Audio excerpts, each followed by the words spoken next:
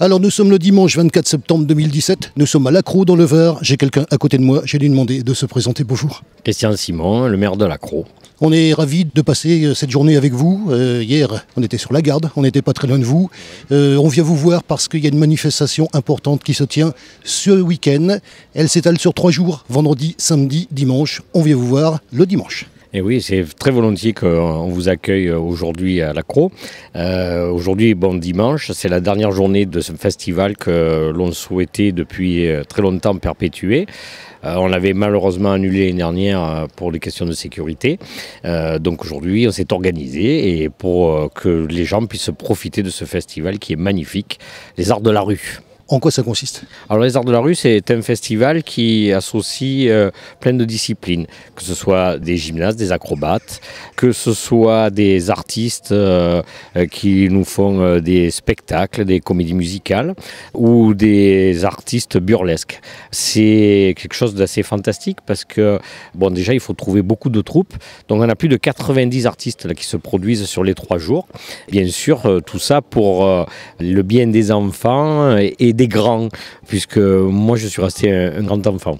J'ai interviewé votre responsable, la, responsable qui a organisé euh, tout ceci, donc on m'a dit plein de choses déjà. D'abord que c'est euh, grand public. Oui, c'est grand public, et puis euh, comme ça l'est pour toujours sur la commune de Lacro, c'est que c'est gratuit. La volonté de la commune, ça a toujours été d'avoir des festivités ou des animations qui ont toujours une vocation familiale et qui soient gratuites pour qu'il y ait l'accès du plus grand nombre. Alors l'évolution, septième édition. Alors c'est la septième édition. Comment c'est parti? Oh, ben, C'est parti sur une toute petite manifestation qu'on a vu qui avait du succès auprès des Croix et des Croix et, même qui avait déjà euh, un retentissement sur l'extérieur de la commune, c'est-à-dire que nous avions des gens qui venaient de l'extérieur. Donc euh, on s'est dit ben, peut-être que c'est un, créneau à prendre puisqu'il n'y a pas de ce, genre de festival euh, sur Toulon, Provence Méditerranée, voire même dans le département. Alors il y a des, des manifestations dans d'autres communes mais pas de cette ampleur. En plus, cette vocation familiale, c'est quelque chose qui nous convient totalement.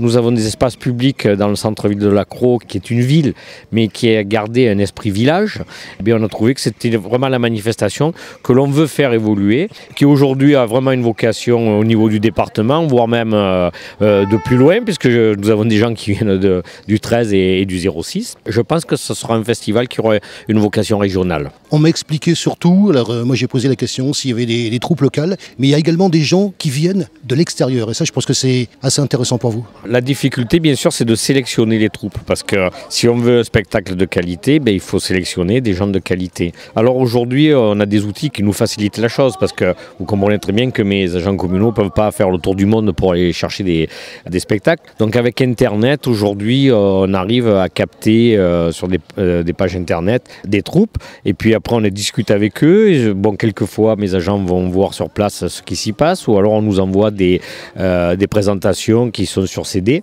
et ça nous permet de faire une sélection. Bien sûr, euh, il faut s'y prendre énormément à l'avance, c'est un travail de plus d'un an à l'avance. Donc on commence déjà à travailler sur le festival l'année prochaine.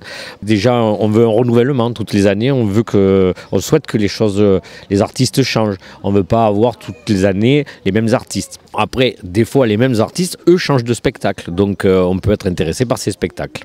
Vendredi, samedi, dimanche, trois jours. Euh, le vendredi, il se passe quoi? Alors le vendredi, c'est l'inauguration. Hein. C'est pas la journée complète. Le vendredi, ça débute à 19h où on fait l'inauguration du festival et nous avons trois ou quatre spectacles qui sont donnés centre-ville. Euh, ce que je voulais dire aussi, c'est que ce, festival, euh, malgré les difficultés d'assurer la sécurité, mais on s'y est affairé, euh, on, tout lieu en centre-ville. C'est-à-dire que ça permet aussi à notre centre-ville d'être connu et de permettre aussi aux commerçants d'avoir une, activité économique. Et le centre-ville s'y prête énormément parce que nous avons beaucoup d'espaces qui sont sympathiques avec des platanes, des jardins.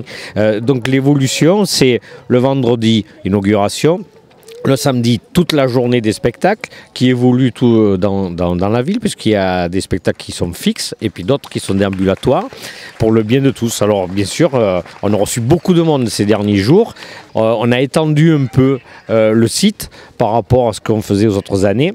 Pour éviter de polluer un spectacle par rapport à un autre. Alors la période où vous avez calé cette manifestation, qui est donc euh, bah, après les, les- les festivités d'été, déjà pour commencer, bah, apparemment en plus euh, vous avez beau temps. Alors c'est sûr que si euh, le temps n'était pas avec nous, la réussite ne serait pas là parce que tout a lieu en extérieur.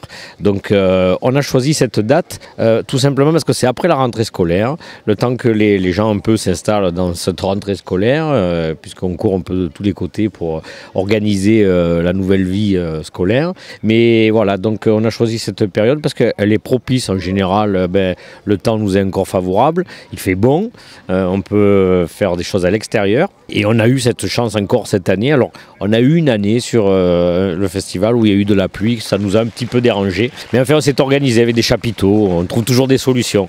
Mais quand il y a le beau temps, ça ne peut être qu'une réussite. Et moi, mon bonheur, c'est de voir le sourire des enfants. Des fois apeurés, parce qu'il certains spectacles qui, quelquefois, avec les sorcières par exemple, ont tendance à faire peur. Mais bon, euh, euh, c'est du spectacle.